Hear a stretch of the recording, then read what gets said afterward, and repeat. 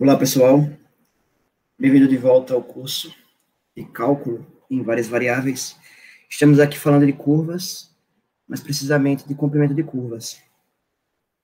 Hoje nós vamos ver que se você pegar, olhar para uma mesma, para uma curva, né, uma figura geométrica aí, essa figura pode ser parametrizada por mais de uma curva diferente, tá? E o nosso exemplo, para mostrar essa ideia, vai ser esses dois, essas duas funções é, vetoriais que resultam na mesma curva, ou melhor, no mesmo traço, né? O traço seria a figura. E aí, como é que a gente pode ver isso, né? Primeira coisa é que a gente pode notar. Bom, o que a gente vai, vai observar, na verdade, é que se você olhar para a imagem desse R1 e a imagem desse R2, esses conjuntos vão ser a mesma coisa. Vamos lá. Vou pegar aqui um ponto qualquer, T. Vamos chamar ele de S, tá? Vamos pegar R1 e aplicar num ponto S. Isso aqui vai ser igual, pela fórmula da R1, a S, S quadrado, S ao cubo. É claro que esse S tem que estar entre 1 e 2, que é o domínio da R. Então, vai ser um S de 1 a 2, ok? Agora, você pode observar que, do ponto de vista da R2, esse ponto também pode ser atingido.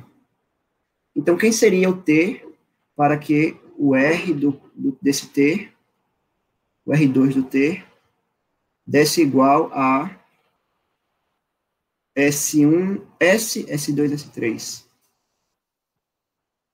Existe esse T? A afirmação é que existe, tá? E o T pode ser você pegar o ln de S.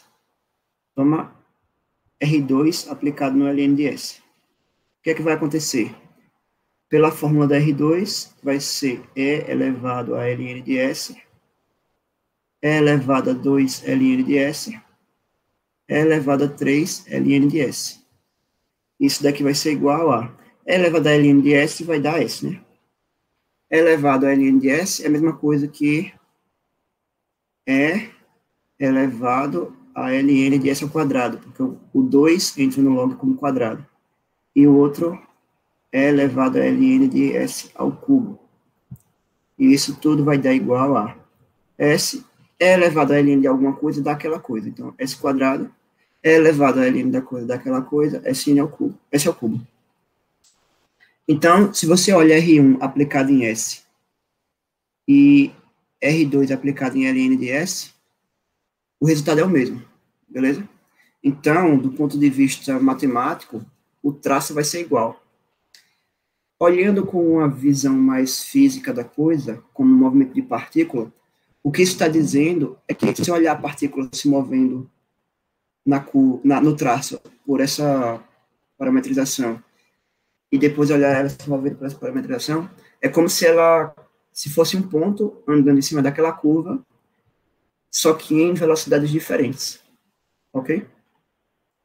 Então, o resumo da ópera é que, se você olha para parametrizações, você olha para uma curva, para um traço, esse traço, essa curva, pode ser parametrizada de mais de uma forma diferente. Ok? Esta é a ideia. E isso vai ser revisitado quando estivermos falando de, de parametrização por comprimento de ar, porque vai ser justamente esse o fato, né? Você vai pegar uma curva que está parametrizada de, uma, de um jeito e vai parametrizar ela de uma forma mais regular, digamos assim, mais fácil de lidar. Ok? Bom, espero que tenha ficado claro e até a próxima, o próximo vídeo, próxima aula, né?